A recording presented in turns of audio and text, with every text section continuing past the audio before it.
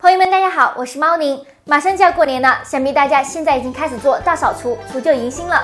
像我们平时家里面的厨房是油污的重灾区，厨房玻璃上面自然是有非常多的油渍污垢，一年没有清洁，用抹布也擦不干净。今天呢，猫宁要给大家分享一个清洁厨房玻璃的好方法，跟我一起来看一下吧。我们先来看看厨房玻璃常见的三种类型：飘窗、玻璃门以及玻璃材质的推拉门。由于这里我们是在厨房，所以完全可以利用这个水池。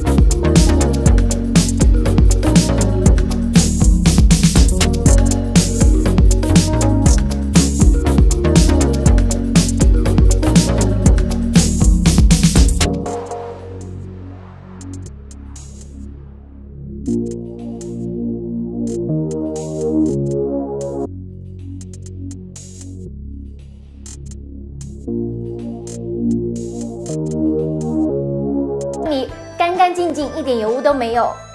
最后再来给大家总结一下：将洗洁精、小苏打、食盐倒入温水中，用百洁布进行擦拭，最后用干毛巾将上面多余水渍擦干即可。